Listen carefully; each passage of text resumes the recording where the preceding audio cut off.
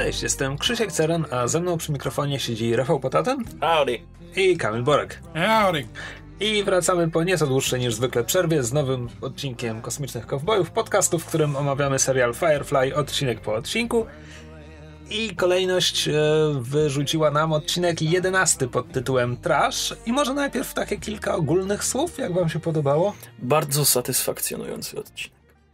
Nie dość, że jedna z moich ulubionych postaci tam występowała, to jeszcze w końcu, no nie możemy nie spoilerować, och, cały ten odcinek to jest jeden wielki spoiler, ale w końcu im coś naprawdę wyszło. No, wcześniej też im wypadł napad na szpital, ale, ale stracili tą całą kasę. Jeśli dobrze pamiętam, następny odcinek to okaże się, że ten wielki sukces wcale wielkim Mhm. sukcesem nie jest. To jest jakoś tam ograne potem. E, ja muszę powiedzieć, że byłem trochę rozczarowany. Nie dlatego, że mi się nie Mhm. podobało, tylko wspominałem go jako jeden z tych, które mi się najbardziej podobały, a teraz jak go oglądam, to jest tylko okej. bo może utrwaliłeś sobie to, co tam się wydarzyło i już nie był taki zaskakujący dla ciebie? Znaczy- Bo dużo, dużo z dobrości tego odcinka jest w tym, że jest zaskoczenie na koniec. Może, może. Znaczy, wiesz co, ja wcześniej oglądałem Firefly z dwa, trzy razy. To więc- za pierwszym razem to był jeden z twoich No, za- ulubionych, za za, pierwszy- drugim razem no, może już nie był taki fajny, ale już zapamiętałeś dokładnie historię i już teraz za trzecim razem już było zupełnie No, przewidywalne. przede wszystkim mam wrażenie, że to jest taki odcinek, o którym w sumie nie będę miał dużo do powiedzenia, bo z jednej strony sa, sam skok, którego tutaj przeprowadzają, wcale nie jest tak skomplikowany, jak mi się wydawało, jakim go zapamiętałem. No, bo parę skoków już musiałeś analizować Tak, przy tak, Ghost tak, tak, Punku naszym... O tym na koniec. Okej. A, a z drugiej Mm. strony. A z drugiej strony tutaj nie ma dużo interakcji między pierwszoplanową obsadą. W sensie nie ma takich scen Mhm. między postaciami, które coś rozwijają i tak dalej, bo wszystko dotyczy głównej fabuły i ewentualnie ich relacji z postacią, która wraca, o której więcej za moment. E, więc to są takie moje wrażenia. Było ok. Kamil, czemu nie masz rąk? Nieważne. Bo Dla, zimno, tak? dla, słuchaczy, dla słuchaczy to nie jest ważne. E, A ja z kolei nie wspominałem tego odcinka praktycznie w żaden sposób. Znaczy, był jednym z odcinków Firefly'a i był w miarę spoko. I tak go, tak go mniej więcej pamiętałem, ale e, fajnie pamiętam. Jak go teraz oglądam, to w- nie, nie miałem takiego wrażenia, że o, zapamiętałem to lepiej, albo że o, jest dużo lepszy niż mi się wydało. Wciąż go oglądam na zasadzie, porządny odcinek Firefly'a. Takie mocne 7 na 10, bym Tak. powiedział. W skali Firefly'owej, tak. No dobra, to chyba możemy przejść już konkretnie do tego, co się w nim dzieje. Zaczynamy od ujęcia, które pokazuje nam jakąś skąpaną słońcem pustynię. Na tej pustyni na kamieniu siedzi Mal, nie ma na sobie żadnych ubrań i mówi do siebie, jak się nam widzą w tym momencie wydaje sarkastycznie, tak, to poszło dobrze. Mhm.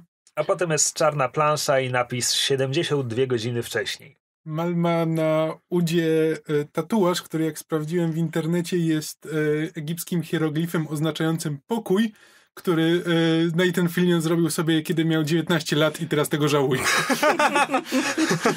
Nie mogli mu tego zak- zakryć Nie, jakoś. nie miałem pojęcia, że to jest jego autentyczny tatuaż. Myślałem, że nie, może jakieś ala... Nie, nie Alliance, y, ten Brown Coats. Nie, to, jest po prostu, to jest tatuaż Nathana Filliona. Okej. Wow. Dobra. E, tak, przenosimy się na scenę gdzieś na jakimś ciemnym księżycu, gdzie e, Towary są przeładowywane, rozładowywane.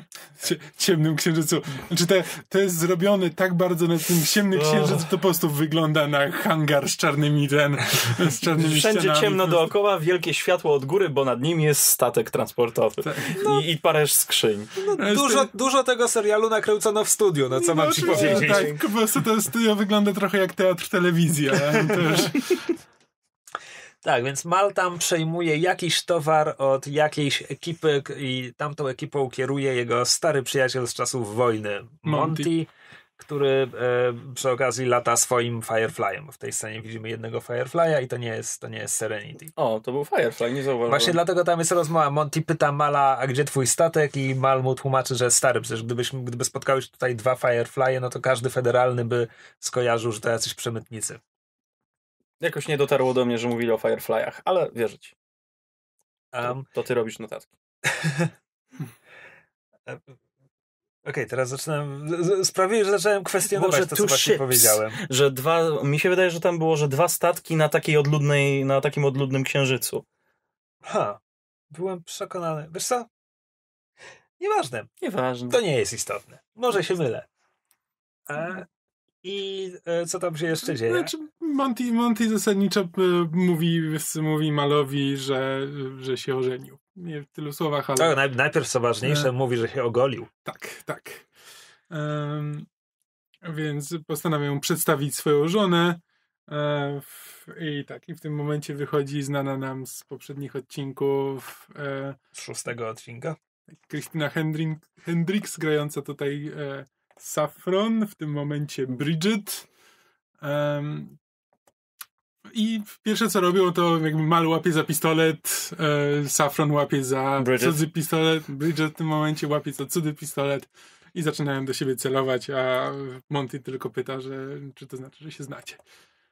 Mm, Tu wchodzi po czołówka, napisy, a po czołówce od razu mamy kontynuację tej sceny, e, gdzie oni za moment tracą tę broń, bo e, Jolanda wykopuje Malowi, przepraszam, jaka Jolanda? Bridget, względnie Saffron, e, wykopuje Malowi jego, jego broń, Mal się na nią rzuca i ogólnie zaczynają się okładać i nie dopuszczać do tego, żeby to drugie odzyskało pistolet.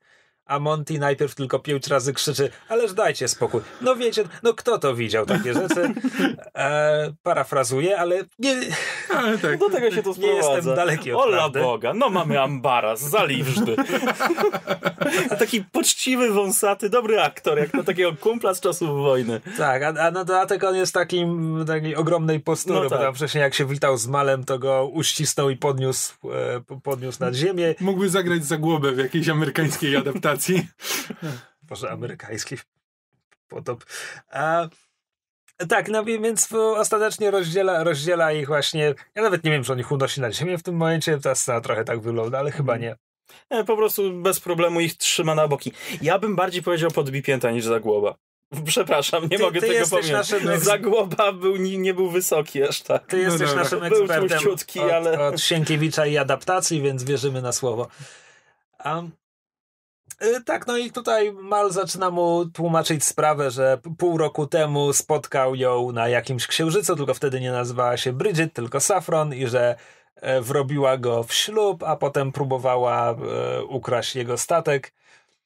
E, I Monty zdaje się nie dowierzać do momentu, w którym Bridget się odszczekuje coś w rodzaju jesteś kłamcą Malcolmie Reynoldsie i Monty teraz się orientuje, że przecież nie powiedział jej jak ten gość ma na nazwisko. Co jest takie klisze. Mm. Ale tak, jakby tutaj Saffron, biorąc pod uwagę, że jest tak wiesz, świetnie przeszkoloną manipulatorką i tak dalej, to nie wykazuje się żadnym... Znaczy po pierwsze, znaczy to, że ona w ogóle napada na Mala, to jest takie... Ona niby później tłumaczy, że no Mal jest tym przyjacielem z czasów wojny, że, on, że Monty by nigdy, e, nigdy jej nie uwierzył. Nie, nie, Nie, że gdyby zabiła go, Gdyby go zabiła. to by zabiła, i tak tak. go straciła. Znaczy, tak, tak, Gdyby to zacięła, jakby to zabiła też... Mala, to straciłaby męża. Mm, Tak, no ale to też jakby sugeruje, że no Monty mógłby wziąć jej stronę, ale mimo wszystko jakby miałaby większe szanse próbując to obrócić na zasadzie o nie, Mal, on próbował mi zrobić bardzo złe rzeczy i Monty tak bardzo cię kocham, ratuj mnie, niż, e, wiesz, niż jak W zaczyna... otwarte karty pójść tak, od razu. Tak, po prostu kopać go, wiesz, ciosami, które absolutnie nie pasują do, wiesz... Do jego słodkiej Bridget. Tak, dokładnie, za ścianka, więc to, to tak trochę kompletnie się odkrywa i nie, nie, nie widać tam tej mani- manipulatorki. No ale cóż. No tak, to było trochę głupie. Ostatecznie Monty zostawia tam Mala z towarem i z Bridget i odlatuje swoim statkiem i jeszcze przez ten, przez głośniki zewnętrzne krzyczy na nią, że jest straszna, że jej ufał, że zgolił dla niej swoją brodę. E, tak, i kiedy już odlatuje, to e, Saffron e, tak, tak jakby po prostu stwierdzała coś oczywistego. Mu, mówi Malowi, że no to podrzuci ją gdzieś. Więc Mal jej mówi, że chyba oszalała. E, I ona nadal próbuje, próbuje go namówić, żeby ją gdzieś podrzucił. Mal każe jej po prostu odejść, więc ona mówi, no przecież zginę na tym księżycu sama, bezradna, co ja biedna pocznę. E, Ale Mal nie daje się przekonać, więc ona zaczyna mu opowiadać, że miała już nagrany idealny skok, skok życia, że, że ma wszystkie hasła do stełpu i tak dalej, no i że chciała wykorzystać do tego załego Mentiego, ale Mal jej to wszystko schrzanił, no więc może on by na tym skorzystał. No ale Mal e, w tej scenie przynajmniej e, nie jest w ciemię bity, więc po prostu dalej mierzy do niej z pistoletu. I w następnej scenie widzimy już, jak Serenity przyleciało i e, załoga wciąga towar, towar na pokład. I na początku wypytują go, czy pobił się z Montim, bo gdzieś tam po drodze zaliczył kopniaka od Safron, No bo- więc krwawi mu tak, nos. nos mu krwawił, miał tam jakieś waciki. I Mal jakby mówi, że nie chce o tym mówić i, i ignoruje wszystkie ich pytania. I idzie do Inary. Która chciała z nim rozmawiać. Tak. I widzimy Inarę przygotowującą pyszną jaśminową herbatkę. Nalewa ją prosto do dwóch ślicznych filiżaneczek, które pasują idealnie do dzbaneczka. Gdy widzi, gdy słyszy, że zbliża się gość, po prostu siada i wita go w swoich e, komnatach. Tak, więc Mal jest od razu e, nastawiony nieufnie, bo po pierwsze Inara go nigdy nie zaprasza z własnej woli do, do swojego wa- wahadłowca, e, a też tym bardziej nie częstuje go herbatą, więc Mal już wie, że coś się święci. Mm, I też zbyt defensywnie jakby do tego nawet e, pod, podchodzi. O, nie próbuj mnie tutaj uwieść, nie, nie próbuj swoich kobiecych wdzięków nade mną rozpościerać. Ja jestem na to odporny. Mów otwarcie. Tak, no i w każdym razie okazuje się, że Inara, Inara po prostu chce poruszyć sprawę tego, że e, już dawno nie byli na żadnej cywilizowanej planecie, więc ona nie ma żadnych klientów e, i żeby w końcu w, m, jakby oskarża Male o to, że on to robi specjalnie, żeby nie pozwolić jej pracować. A więc Mal oczywiście wyśmiewa ten pomysł i to szybko eskaluje do kłótni, to znaczy do momentu, w którym Mal jej mówi, że ja się nie wtrącam w twoje kurwienie, więc ty się nie, nie wtrącaj w moje złodziejstwo, e, ponieważ każda kłótnia Mala i Inary w pewnym momencie eskaluje do, Mhm. tego, do tego poziomu. Tak, a kończy się po prostu tak, tak głupio, bo koń, kończy się tym, że e, Inara przez przypadek nazywa go e, drobnym złodziejaszkiem. E, petty thief. E, I wtedy Mal się, e, Mal się obraża, bo, bo on ją może przy każdej kłótni nazywać dziwką, ale jak ona powie, że on jest drobnym złodziejem, a nie, a nie po prostu złodziejem, to nagle jest... e, Ale co jest najlepsze, ona, ona aż zareagowała, ojeju, nie chciałam tak powiedzieć. Tak, dokładnie. To jest... Gdyby, gdyby to było. To by była nawet fajna scena, gdyby na zasadzie, wiesz, Mal jest tym, który zawsze je wyzywa od dziwek i ten, i w momencie, kiedy ona go nazywa jakby, wiesz, drobnym złodziejkiem, to on się, y, on się stroszy. Jakby spoko.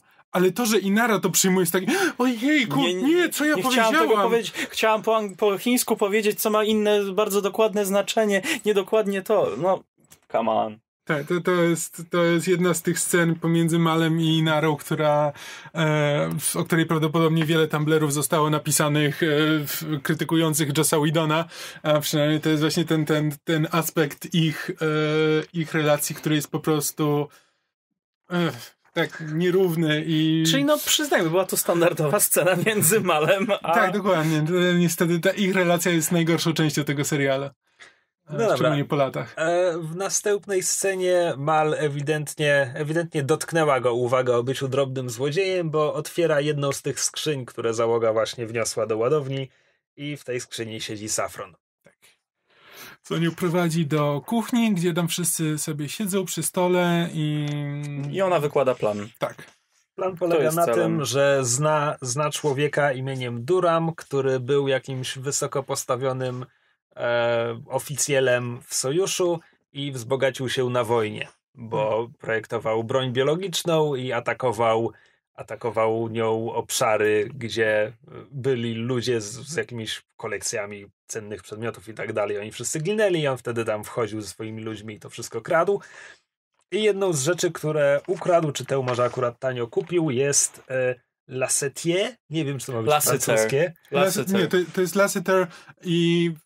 Znaczy, to jest z jednej strony prawdopodobnie, e, przynajmniej internet twierdzi, że to jest nawiązanie do Johna Lassetera, czyli, nie pamiętam, scenarzysta albo reżysera Toy Story, przy którym jakby Joss Whedon był A, jakby prawda. pierwszym filmem, który jakby Joss Whedon był scenarzystą. E, a po drugie podobno jest e, film Lasseter właśnie o złodziejach, ale go Ha, nie znam. Jest taka- w każdym razie w tym serialu Lassetier jest e, pierwszym egzemplarzem. Skąd ty, czemu francusku. To Nie, Nikt tego tak nie wymówi. Nie to wiem. nie jest tak, że widzimy tą nazwę tylko zapisaną. Wszyscy mówią Lassiter. Okej. E, No więc w tym serialu Lassetier jest...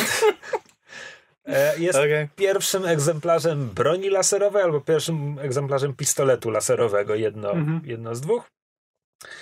E, No i Safron tłumaczy, że zna kody dostępu do, do latającej rezydencji e, tego tam Durama. Ona jest, to jest taka latająca platforma, na której jest zbudowana willa z ogrodem nad planetą czy księżycem Bellerofon.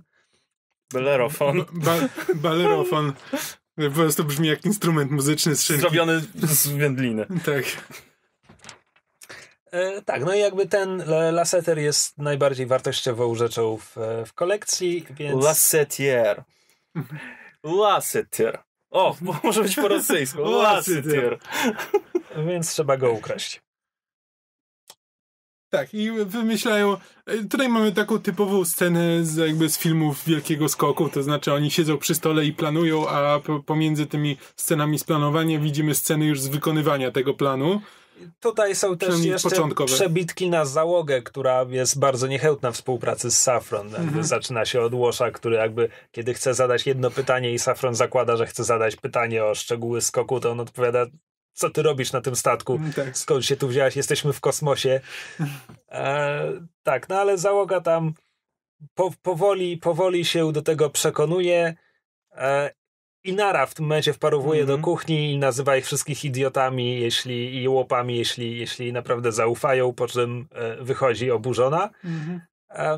I na koniec tego przekonywania załogi e, Mal stwierdza, że, że Zoe jeszcze się nie, nie odezwała. No i Zoe mówi, że faktycznie pomysł na skok jest dobry, że jeśli uda, jeśli jakiś paser kupi od nich ten laseter, to faktycznie to będzie, e, to, to będzie duża wypłata.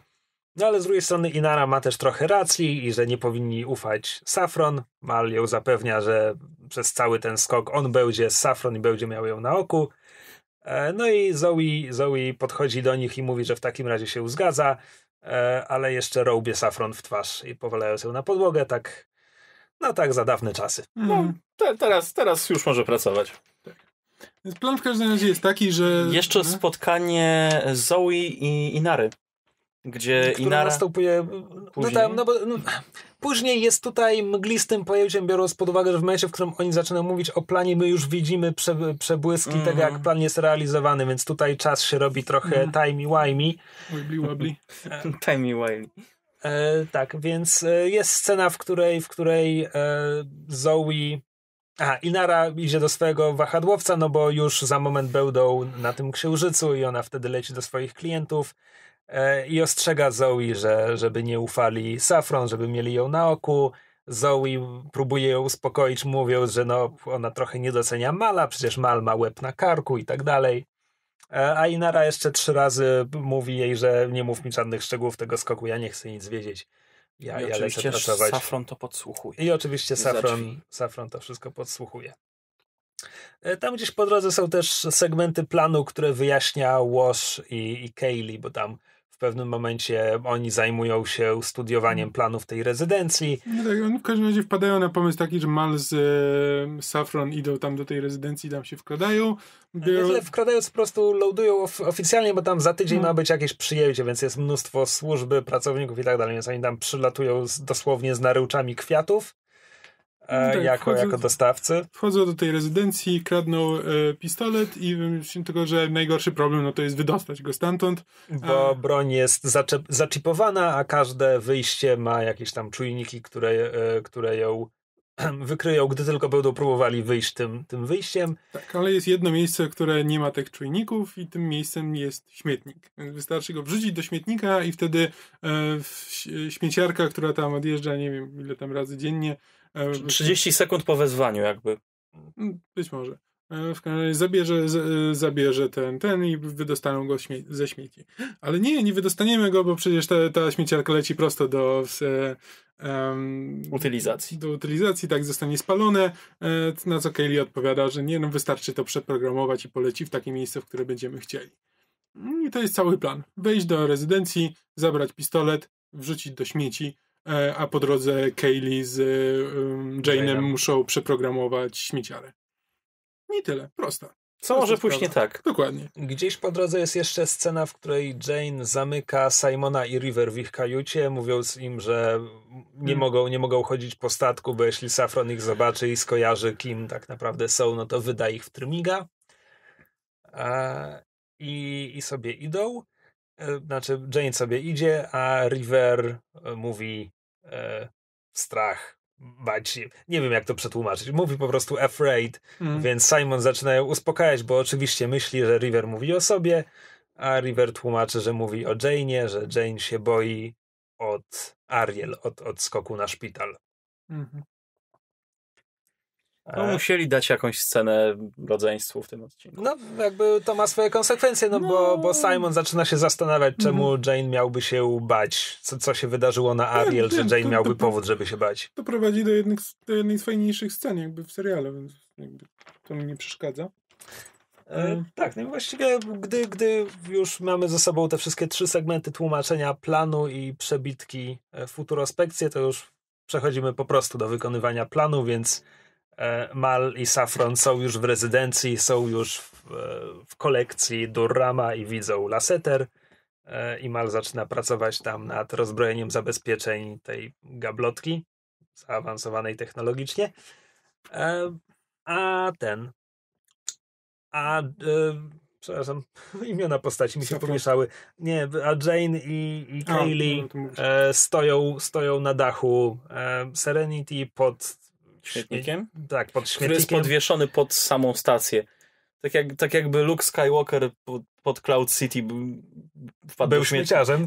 By, nie, jakby wpadł do śmietnika spadając tam na dół, a nie wisząc na antenach. E, tak, tak. Dobrze, dobrze Tak, powiedziałem. dokładnie na samym środku od spodu. Bardzo, bardzo obrazowe.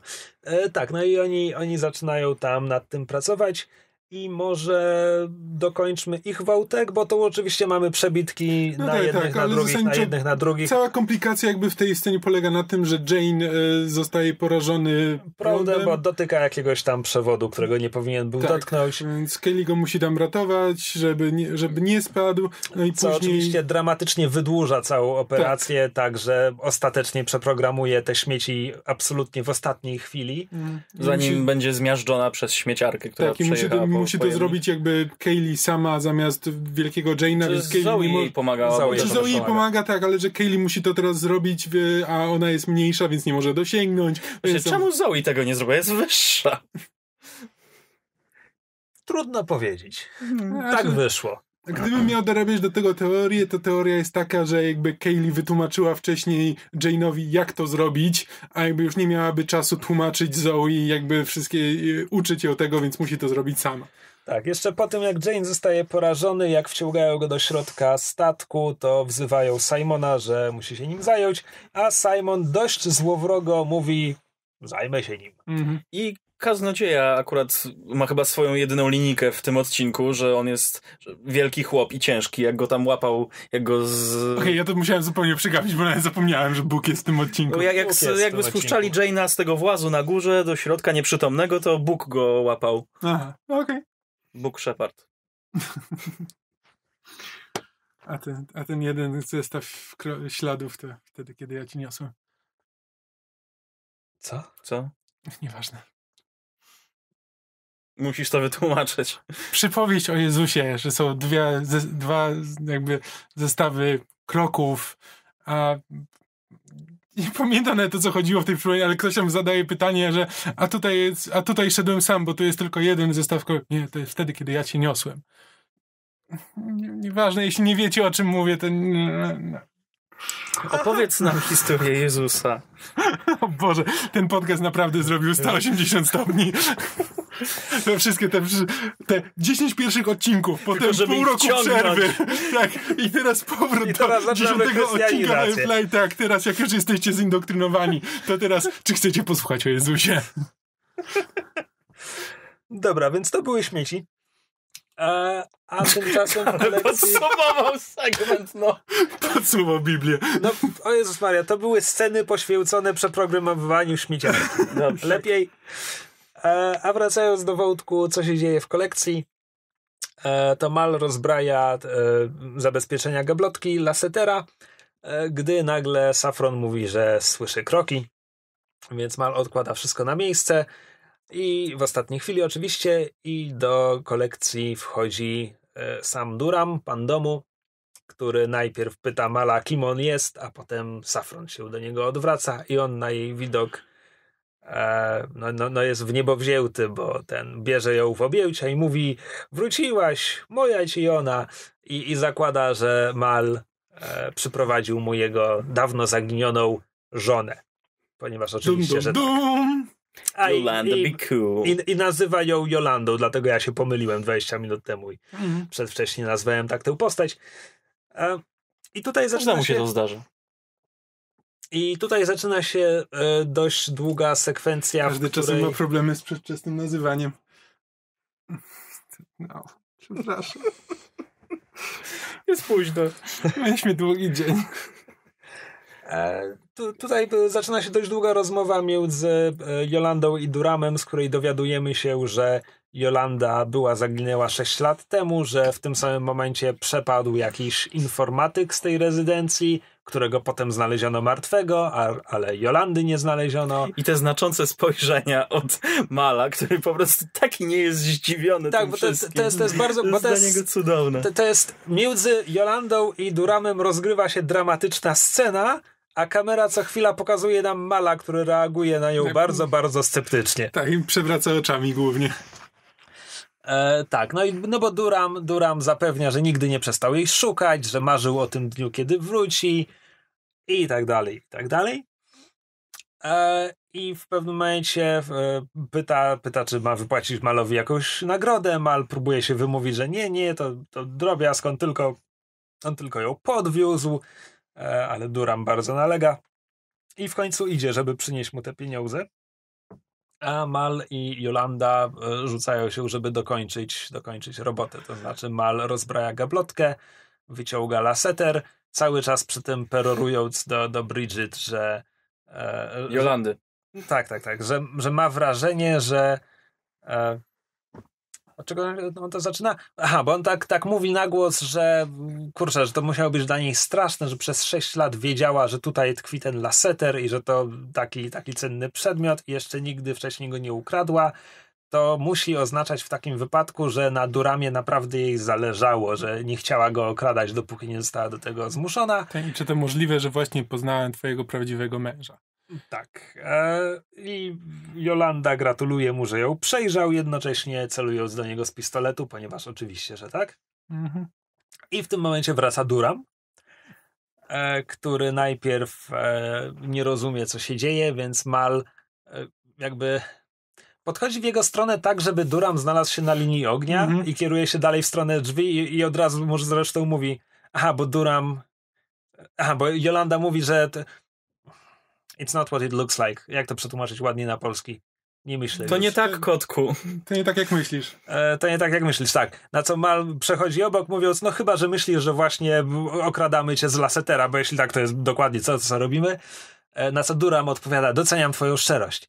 Nie jakoś bardzo, ale razie, znaczy, to, też jest takie trochę mm, naciągana scena, w której Mm. jakby on z, Mal z tym las, laseterem jakby podchodzi do, do Durama, potem podchodzi za Durama, e, potem jest w stanie w momencie, kiedy Duram rozmawia z Safron, to jest w stanie jeszcze wyjść z tego pokoju do śmietnika, wrzucić tego lasetera do śmietnika, wrócić do pokoju, I wezwać odbiór śmieci. Wezwać od bo śmieci, naciska tak, tam wrócić do pokoju i, ten, i to wszystko, a Duram w ogóle jakby ma to gdzieś. Jest zajęty swoją żoną.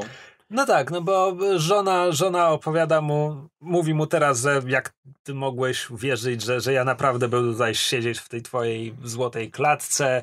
On mówi, no miałem taką nadzieję. Ona mówi, głupi byłeś i popatrz jakiś z siebie dureń, patrz jak się teraz okradamy. Powinieneś był wezwać federalnych, gdy tylko mnie zobaczyłeś. Na co Duram mówi, zrobiłem to 35 minut temu.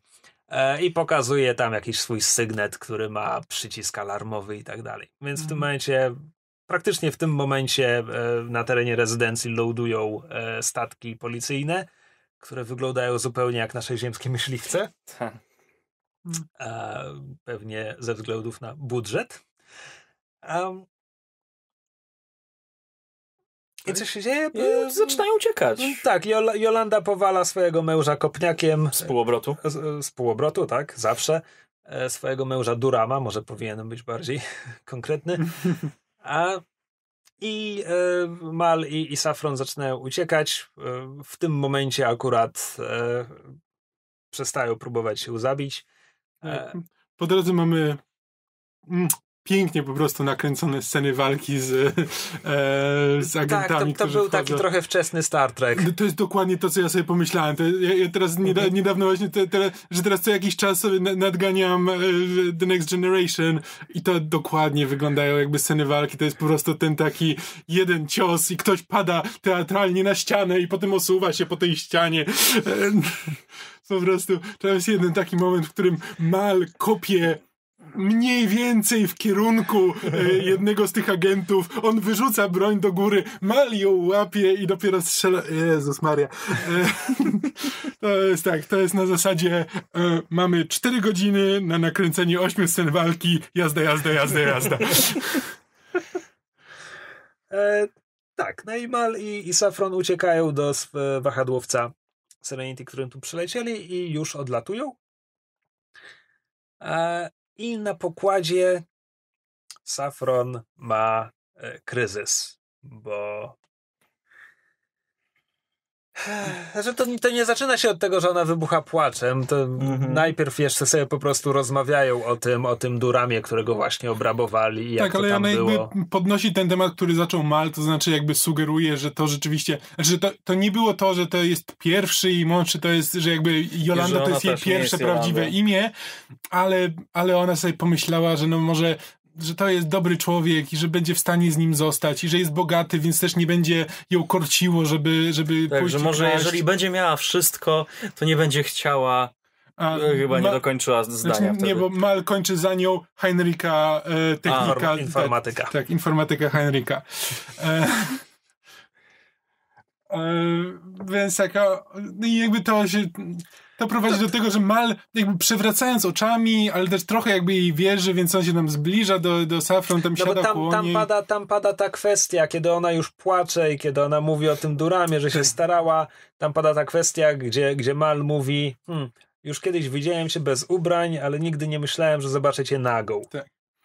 E, więc e, jemu się wydaje, że jakby Safron się naprawdę na niego otworzyła, więc tam się do niej przysuwa, siada, żeby ją pocieszyć, a ona w tym momencie jakby wyciąga jego pistolet i wstaje i zaczyna do niego celować i znowu zaczyna kolejny To monolog pod fajny tytułem tekst nawet głupi. był podczas tego dialogu, że e, on że on jako uprzejmość dla niej czego nie zrobi, nie wydaje... E, nie, nie, po, nie, powie, nie powie reszcie załogi o tym, A, jak, jak tak. teraz przed nim płakała. Mal mówi, że ależ, ależ oczywiście, na co Safron odpowiada, no to w takim wypadku ja im nie powiem, jak łatwo zabrałam ci broń. Mhm. To było śliczne. I, I celuje do niego po raz czwarty w tym odcinku, chyba. Pewnie coś koło tego.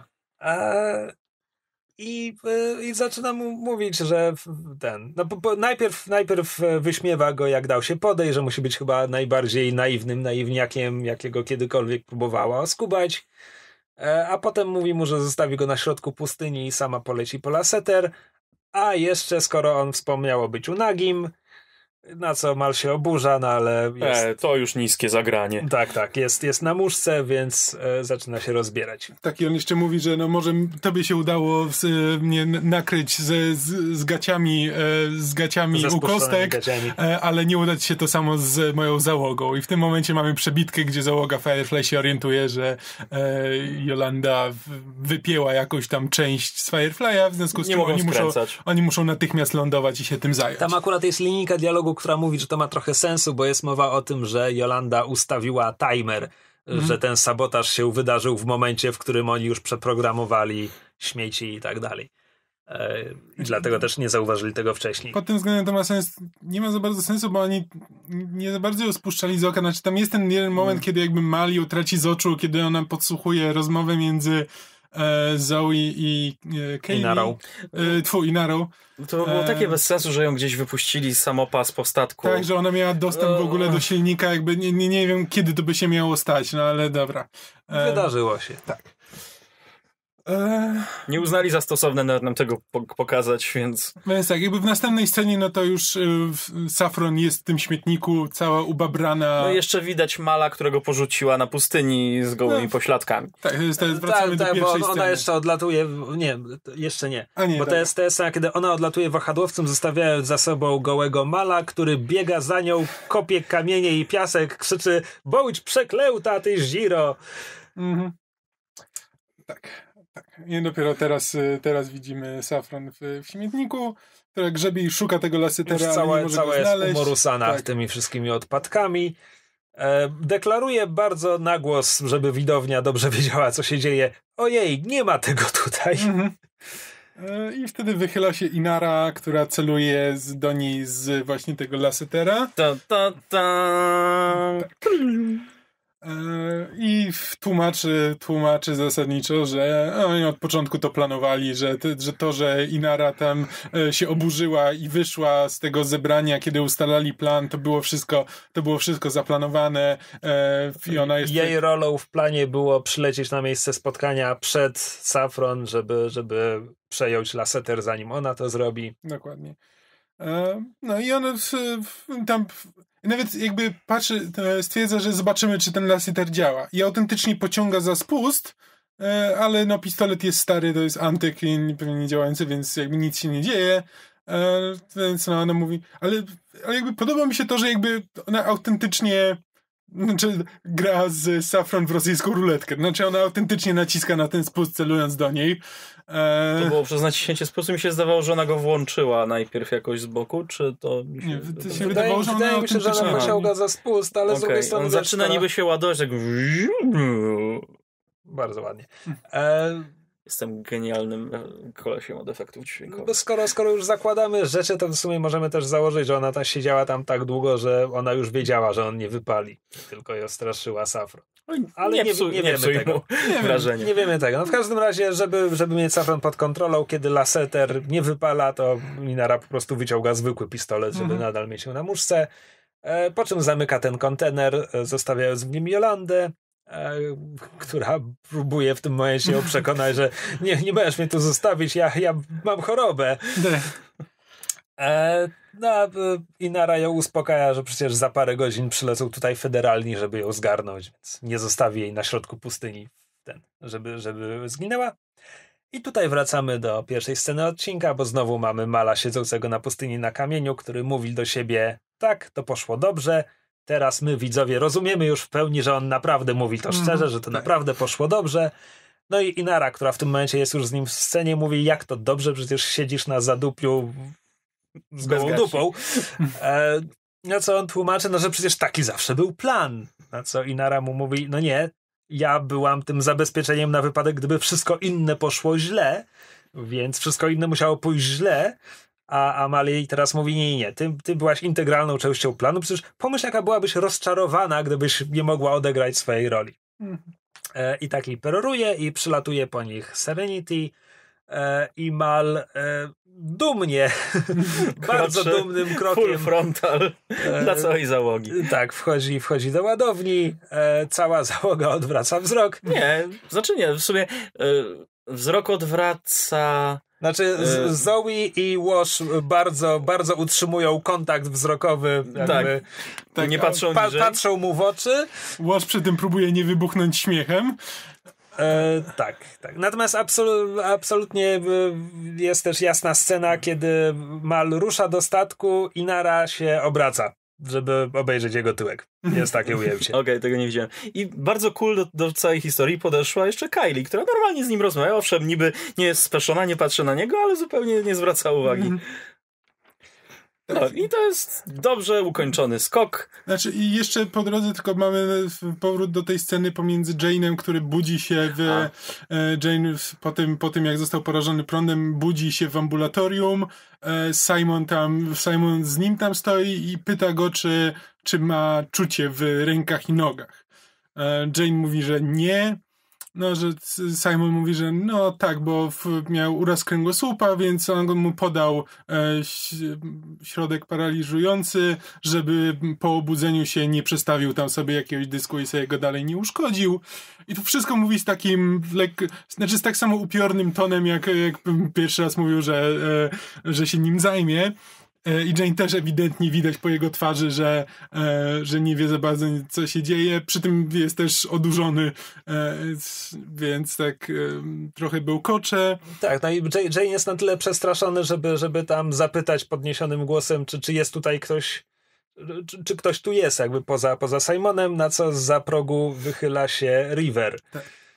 Tak, i Simon jakby pyta go, e, ile mu zapłacono za to, żeby ich wydał na, podczas roboty na Ariel. E, więc on zapewnia, że.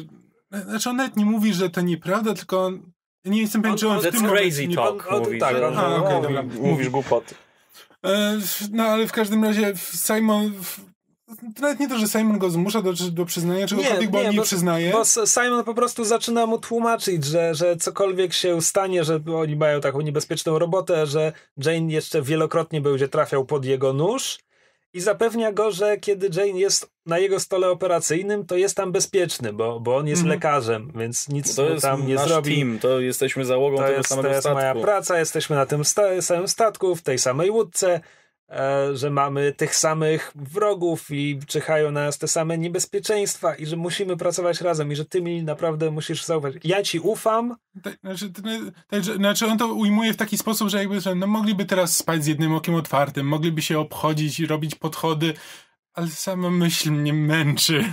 E, to jest taki bardzo ładny monolog, bo to jest takim Strasznie mi się to kojarzyło z takim wilenowym, jakimś, wiesz, łotrowskim monologiem. Jakby tak, ale to było jeżeli mnie znowu prze, prze, przerobisz na szaro, to wiedz, że ja tu będę czekał z opatrunkiem i cię naprawię i będziesz zdrowy i napijesz się ciepłego kakao. tak, dokładnie, ale o to mówi taki, to jest, to jest taka bardzo, bardzo fajna, bardzo Simonowa scena, jakby um, Super, bardzo mi się to podobało. No I tam Simon jakby na koniec jakby już mówi, że nie ma się czy, że powinni sobie zaufać i pracować razem i wychodzi. Simon wychodzi, a River wychyla się jeszcze raz za progu i mówi, a poza tym mogę cię zabić swoim mózgiem. tak. E... Ja, i to jest koniec ta, ta, to, to, Bo to się wydarzyło odrobinkę wcześniej, tak, tak, potem tak. jest końcówka z gołym malem i, i witającym się z załogą, więc ostatnia scena to jest po prostu, kiedy wciąż goły mal odwraca się, żeby jeszcze raz spojrzeć na pustynię, bardzo zadowolony z siebie, pręży się jeszcze bardziej. Ręce do góry. Tak. tak. i ostatnie, ostatnie ujęcie jest z zewnątrz, jak podnosi się ta rampa tak. ładunkowa, tak, tak, żeby go zasłonić idealnie, żeby tam przypadkiem nic, niczego nie pokazano w telewizji, czego nie wolno pokazywać w telewizji amerykańskiej. I ale, i tak, ale i tak dwa razy pokazali goły tyłek. Yy, no bo gołe tyłki wolno, to jakby. Myślałem, że Przody tyłki, są problematyczne. Myślałem, że tyłki wolno tylko w kablówce. Yy, tej basic kablówce. Może jakąś ograniczoną ilość sekund mają, bo... A tym może męski tyłek wolno, a z kobiecym byłoby gorzej. Też są czasami tego typu standardy. Nie Amerykanie są dziwni. Tak. Mhm. Um, no. I to jest, to jest trash. I teraz, skoro już skończyliśmy omawiać go scena po scenie, to ja mam jeszcze tylko dwie uwagi. Hmm? Um, no bo to, tutaj wszystko opiera się na tym twiście. I to niestety oznacza, że są sceny, które są nakręcone po to, żeby zmylić widza, które nie mają sensu w ramach świata przedstawionego. Bo na przykład to, że załoga tak się bardzo dziwi, że ich statek został sabotowany w momencie, w którym oni się tego spodziewają w tym momencie.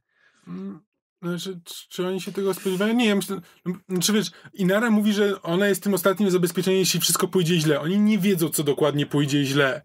Jakby moim zdaniem to nie jest tak, Samo że to, że statek przestał działać jest zaskoczeniem. Może łatwo się domyślą, kto to zrobił, ale... No tak, bo od razu no, jakby się domyślają, no, kto tak. to zrobił, jakby ten, tylko że moim zdaniem to oni autentycznie byli zaskoczeni, że to im nie ten, yy, że to im nie zadziałało. No tylko, że jakby byli na to przygotowani, że coś może pójść nie tak, ale że to Po prostu musieli szybciej to... lądować, żeby zrobić naprawy, ale tak to no... Nie byli jacyś Okej. totalnie zaskoczeni. Znaczy, tak byli zaskoczeni, że coś się stało, ale to też nie było tak, że panikowali, że o nie, mój Boże, co, te, co my teraz zrobimy? Nie Że było nic Teraz nie takiego. odbierzemy mala, okej. oczy, oczywiście powinienem był jakby pomyśleć o tym, kiedy zaczęliśmy oglądać odcinek, a nie zrobiłem tego, bo teraz, kiedy skończyliśmy oglądać odcinek, mam wrażenie, że są tam sceny, kiedy oni grają w momencie, w którym Safron jest jakby, nawet nie ma jej na statku. Ale może teraz sobie to dopowiadam. Nie no, sceny na statku takie z całą załogą było omawianie planu, gdzie też e, Inara swoje, swój, swoje przejście takie przez pokój zrobiła.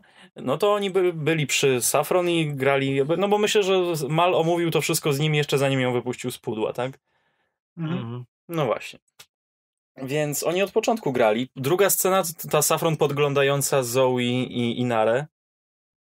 No to też to jest pokazane, że oni odgrywali przed Safron, bo wiedzieli, że ona ich obserwuje. Dobra, e, rozmowa, pierwsza rozmowa Mala i Inary. To jest e, Ja myślę, że po tym po tej wpadł na rozmowie. on pomysł, na o tym pomysł. wszystko, na to wszystko i też od razu poszedł do Inary z tym pomysłem. Tak, ja jestem Petty Thief, no to mam super wielką tutaj okazję, Może. żeby zrobić skok. Może. Ty nie Dobra, możesz e, pracować, pomóż nam. No tak jak, tak jak mówiłem na początku, jakby ja, ja zapamiętałem ten odcinek po pierwsze jako bardziej skomplikowany, podczas gdy ten plan tak naprawdę ma dwa kroki. Mhm. E, a po drugie właśnie, nie wiem, miałem wrażenie, że jest w nim więcej treści. Mhm. Nie, znaczy ma bardzo fajną konstrukcję. Konstrukcja takiego właśnie filmu, heistu. E, w- to, się, to się bardzo przyjemnie ogląda. Em, jest e, dobrze napisany, sensownie. Zrealizowany jest... Jak mówiliśmy, no jest parę scen walk, akcji, które wyglądają e, bardzo źle, ale Jakoś się bardzo nie koncentrowałem, nie uderzyła mnie jakoś tak, no bo bardzo to jakby słabość. Firefly jest w No ogóle to tak jest- nakręcony, że jakby to wszystko jest, wygląda trochę budżetowo, jakby to nie, to nie jest tak, że to nagle ci odstaje, że wszystko jest wymuskane i piękne, a W ogóle, kiedy tam ktoś się bije na pięści, to tam nigdy nie ma Mhm. jakiejś Mhm. dobrej choreografii. nie. Także to wszystko nie odstawało poziomem. E, to co? Ogólnie tak? 7 na 10 w skali Firefly, tak jak Tak. było na początku. Myślę, że, że to jest fair. No dobra, następny odcinek, który nam wypada, to jest The Message. Myślę, że tam będą ciekawe rzeczy do omówienia, bo to jest dziwny odcinek. To jest odcinek z posłańcem. O Jezu, tak, to jest... tak, to sobie Posłańcem? pomówimy o tym. Zaraz, zaraz wyłączymy mikrofon i ci przypomnę, co tam jest. A tymczasem to już wszystko w tym odcinku. Dziękujemy Wam bardzo za uwagę. E, żegnamy się z Wami ciepło. Jeszcze po drodze tak. E, zachęcamy Was do zostawiania nam komentarzy na przykład pod tym filmem na YouTubie albo na naszym fanpage'u na Facebooku, na fanpage'u podsłuchane.pl. Możecie nam również wysyłać maile na adres kowbojemałpa.podsłuchane.pl. Zgaduję, że mamy takie przekierowanie. Jeśli nie, to kontakt małpa podsłuchane.pl. E, przy okazji chcemy też bardzo podziękować Angry Bytes za hosting naszego całego podsłuchane. Tak, jakby w tym momencie mamy nową, nową stronę, e, znaczy całe podsłuchane ma nową stronę, Myszmasz ma nową stronę, e, wszystko wygląda trochę ładniej i profesjonalniej, e, a nie tak jakbyśmy to robili 5 lat temu chałupniczymi metodami. E, I tak, tak, to wszystko nam zrobili chłopaki z Angry Bytes, więc jeśli tam jesteście, myślicie o założeniu jakiegoś bloga i tak dalej, to ich polecamy. E, Poza tym jakby zarówno ten podcast, jak i wszystkie inne podcasty z, z, możecie, możecie em, subskrybować na Spotify'u.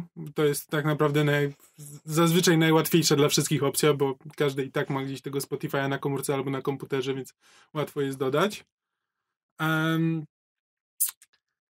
I tak, i przy okazji, jeśli podobał wam się w odcinek em, O sprytnym skoku i planowaniu i fin, fincie w fintach i, i tak dalej. I retrospekcje. i retrospekcjach, tak, jak najbardziej, to polecamy, żebyście przesłuchali pierwszy odcinek e, nowych sesji na podsłuchu. Rozpoczęliśmy cykl pod zbiorczym tytułem Ghost Punk, w którym e, to jest co prawda fantasy, nie science fiction, ale rozgrywamy przygody szajki przestępców działających w takim fajnym, fantastycznym dieselpunkowym mieście e, którzy dokonują ambitnych skoków, a potem muszą żyć z konsekwencjami wielu Mhm. różnych dziwnych rzeczy.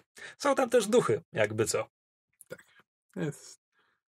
E, Szczególnie, że to jest niedługo będziemy mieli drugi odcinek. W drugim odcinku będzie dużo więcej duchów. Em, ale tak, ale polecamy, bo jesteśmy z tego dość dumni, więc... em, I jest nasze jeszcze- facjaty widać. A właśnie, bo, tak, bo Ghostpunk jest już w formacie wideo, więc nadal można tego słuchać po prostu jako podcast, wciąż się sprawdza, ale na YouTubie są e, całe nagrania, więc jeśli ktoś jest ciekawy, jak wygląda Rafał, bo nas już było gdzieś widać w innych rzeczach, które robiliśmy. Znaczy, przede wszystkim jak ktoś, jest, jak ktoś jest ciekawy, jakie miny robi Krzysiek, kiedy my, kiedy my sobie żartujemy podczas jego poważnych scen, e, w których się dzieje fabuła, e, to, to też warto. E, więc tak, jak wejdziecie na na przykład podsłuchane.pl slash na podsłuchu, to tam są e, wszystkie jakby zarówno odcinki Ghostpunka, jak i poprzednie nasze sesje w Numenere. No i tak samo wszystko znajdziecie na YouTubie i w każdych innych możliwych miejscach, gdzie tylko można słuchać podcastów. Um, Teraz to już chyba naprawdę wszystko. to już naprawdę Autopromocja zakończona. wszystko. Sukcesy. Pozostaje nam się pożegnać. Do następnego. Na razie, kowboje. O, fajne zakończenie. Nigdy, Audi? nigdy wcześniej tego tak nie kończyliśmy, ale na razie, kowboje. Krzysiek. Na razie, kowboje. To infinity and beyond!